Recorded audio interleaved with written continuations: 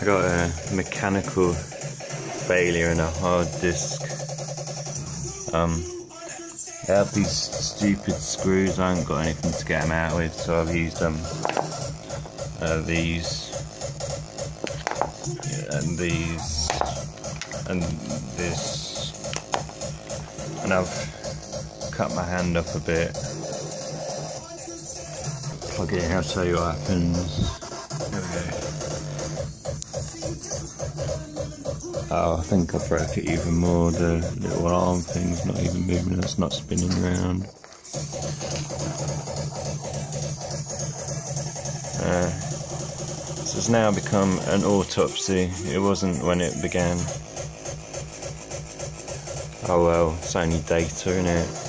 I know it is working, I just didn't push the thing in far enough. There we go, spinning, see?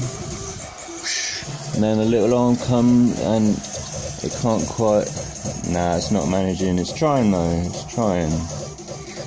Uh, maybe if I rip all this case off, I'll be able to fiddle with the inside a bit. But it's got all the stupid screws on the inside as well, so I'm probably just going to have to hit it with things.